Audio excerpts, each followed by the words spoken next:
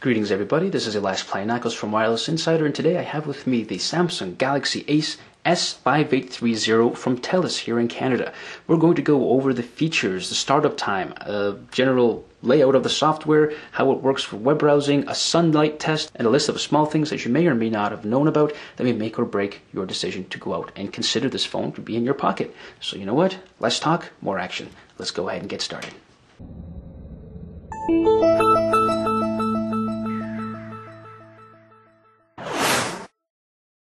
Alrighty, so the phone comes in a nice, real small box here. Seems to be traditional of a lot of manufacturers nowadays. Nice and quaint, very cute. Alright, and picture of the phone with uh, some specs on the front here. Let's go ahead and open it from the bottom. Alright, okay. Hey, there we go. Got the phone just looking at us, greeting us. Nice wrap, great. And, ooh, micro SD memory card adapter for uh, micro SD to SD, so that's cool to see. Let's get that out of here for now. Now, literature. Ooh, look at this. That is cool. It comes with an optional white backplate. There it is, yeah. Black comes on the phone and white comes in the box as well if you want to whiteify your phone. Very cool. All right. Uh, stereo headphone jack. Uh, battery, very nice big battery. Good to see. Data cable and uh, home chargers in there as well. So let's put this stuff all on the side for now. Let's take this guy out. Uh, we'll go back to the battery in a second. So let's take a quick look at the actual phone itself, the hardware. Let's get this sticker out here too. There we go.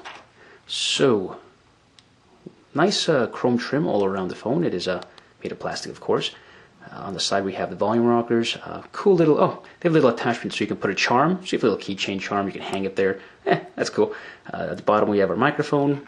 On the right side we have a micro SD memory card slot, which is hidden by a little cover. So uh, it's not in the back of the phone, it's on the side power button and standby, stand off. And we have a 3.5 millimeter headphone jack and a, a nice little feature here. It uh, has a covered micro USB charging port. So that's nice to see, especially since it's at the top of the phone. You want to make sure if it's like drizzling, raining, or anything like that, you don't want any dirt or water getting in there. So very nice to see that there by Samsung. On the front of the phone, you can see the one only physical dedicated button. Now this takes you back to the home screen, which is pretty nice. Uh, here you can't see it until it's illuminated, but that's the menu button, and this is the back button. On the top here is we have the proximity sensor, and we do have a status LED light. Of course, the speakers right there, and uh, speakerphone slots right here. At the back, you have the 5 megapixel camera with autofocus, and we'll demonstrate that in a bit, and LED flash. So, very nice. You know what? I'm going to zoom on in here, and we're going to power this guy on.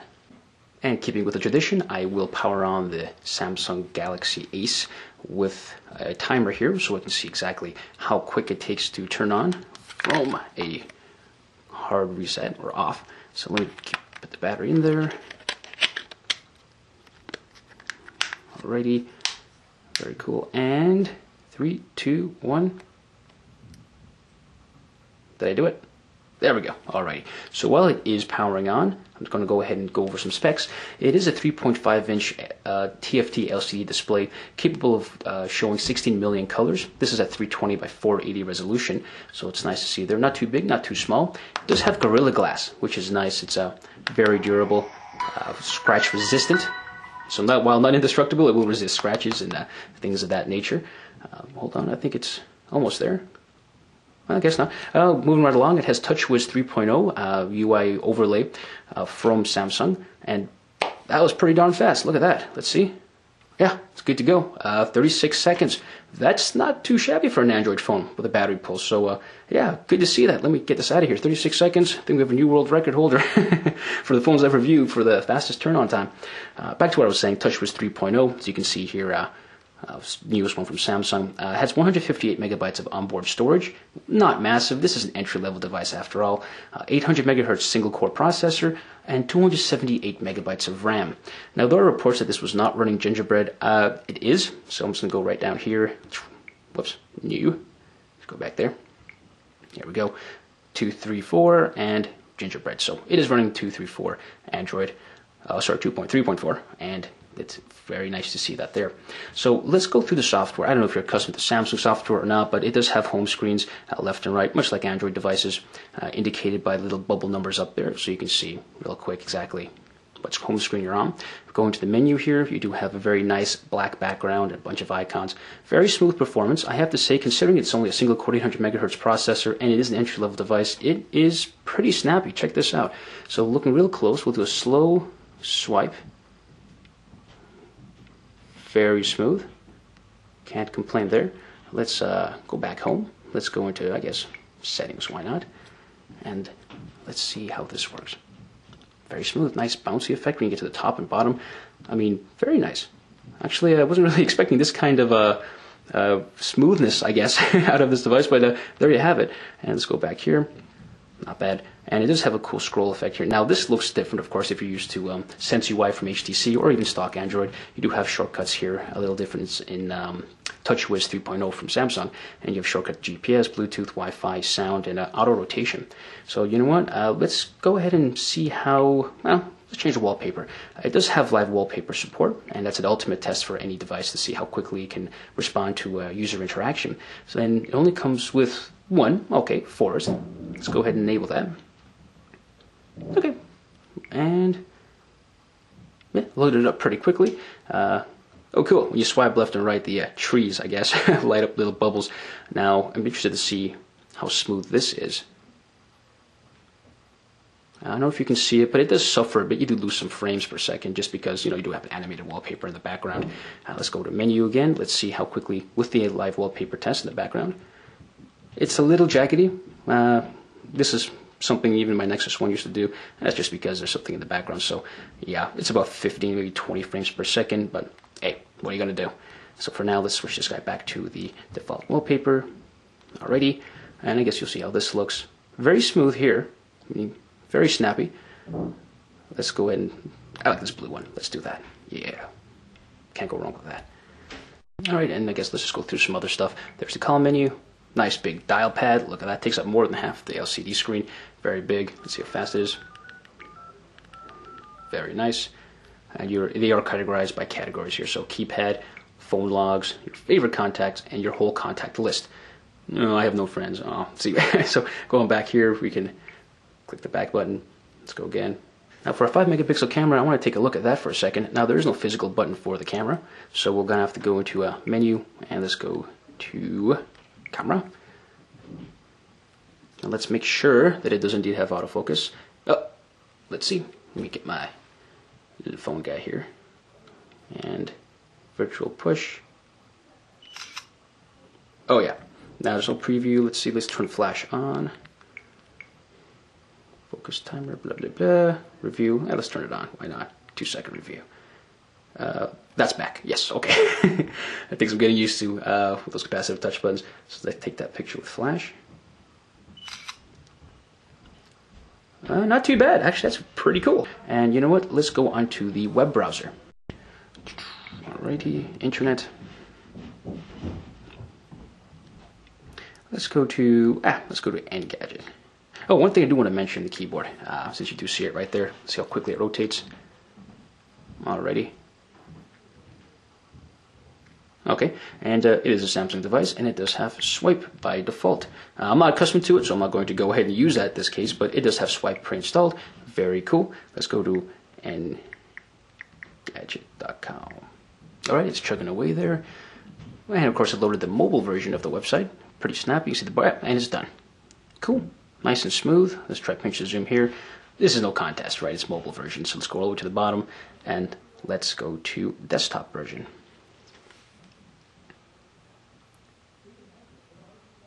Now, right away, this does come with Android Gingerbread version 2.3.4, however, it does not support Flash, so despite its capability to do so, it's been disabled by Samsung, most likely because of the processor or just to make sure uh, it won't affect performance.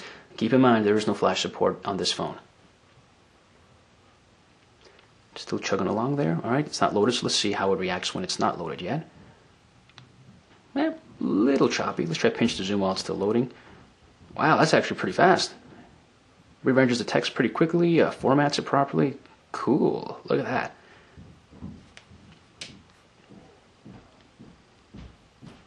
Alright, I guess we'll just wait for this to finish doing its thing. Of course, it's loading the advertisement. and there, Finished. Now let's see how it performs. All right. Wow. It's stopping like that on purpose because you're going a little too quick. This is uh Wow, I didn't expect this out of this phone. This is actually pretty good. This is like the BlackBerry Bold 9900, like my Android over there, uh, the Panache or my Touch 4G. Let's see how quickly it rotates. Wow, snappy. Let's try that again. Great. One more time. And let's go ahead and do the pinch to zoom. I like doing it with a text and picture mix. Let's see. Ah, why not? Okay, let's zoom on in. Rendered. And it rendered. Wow, it, it's formatting a text very quickly. Even when I'm zoomed in very close, it's not checkerboarding. No artifacts, if you can see. Whoop. a little too fast on the rotation there. Not bad. Let's zoom on out. Next, uh, YouTube. Well, you don't have to go to the website or the mobile version. It's built into it, just like any Android phone. So if you go to YouTube here, and as usual, I'll do a search of 300. Now again, uh, it may take a while to buffer just because of the Wi-Fi connection here. So I'll make use, uh, best use of that as I can. Let's just search that up. Search for symbol 300. Go. And let me zoom in since we're doing the video now. All right. Okay, uh, movie trailer already. Let's make sure that volume is all the way up there. Very nice. Let's see how loud this guy is too.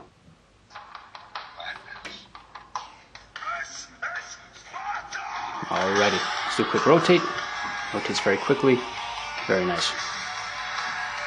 So, yep, there you have it. Not too shabby. Of course, uh, if you actually have a good Wi-Fi connection or a good 3 or 4G connection, this would most certainly uh, make a difference there.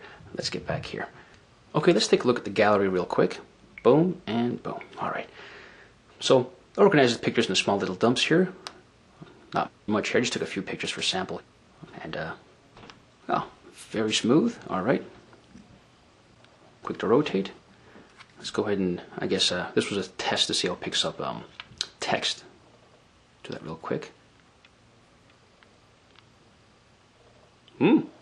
Not too bad. I actually like that. Look at that very quick.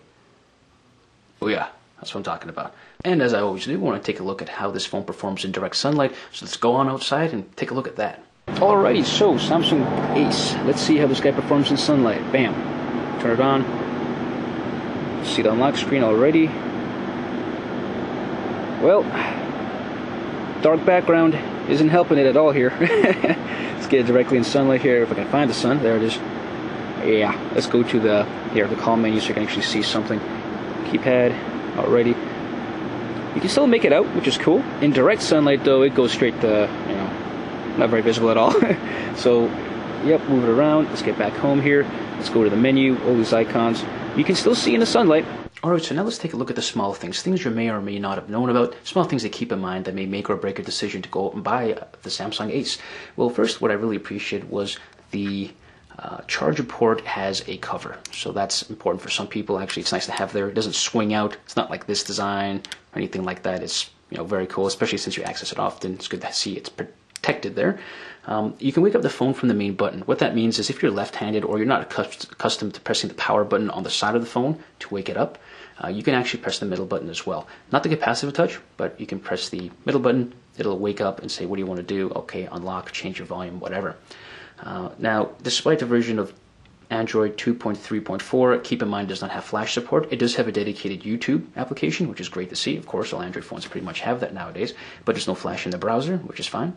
Uh, there also, there's also no camera button. So if you're a, a photoholic like me, you love taking pictures, just make sure you put a shortcut on your home screen or something like that so that you can have access to it. And the camera itself is very cool, especially since the flash on the camera itself will uh, come on before focusing. So when it decides to focus, it'll come on, it'll illuminate the subject, and then the brighter version of the flash will pop out and grab that picture. It does come with an optional white faceplate, which I do have here, which is very nice. Small things like this always go a long way. I mean, you know, just being able to change it. Plus, a lot of people get creative and decide to spray paint this their own color and put it on, you know, whatever suits you. It's very cool. And uh, last but not least, uh, you can hold menu to do a search. So what I realized, if you press the menu button here, hold it down, it activates the voice search option. So if you're wondering where that button was, it's just hidden it's right there. And the fact that it comes with swipe built in and is very quick to rotate, which is something that's very important because you do want to make sure this phone works with you. It's uh, very nice to see that there. And uh, a good combination of features makes the Samsung Ace a pretty good phone. again, this is Elias Planiakos from Wireless Insider. If you liked what you saw, please comment and subscribe. And until next time, take care.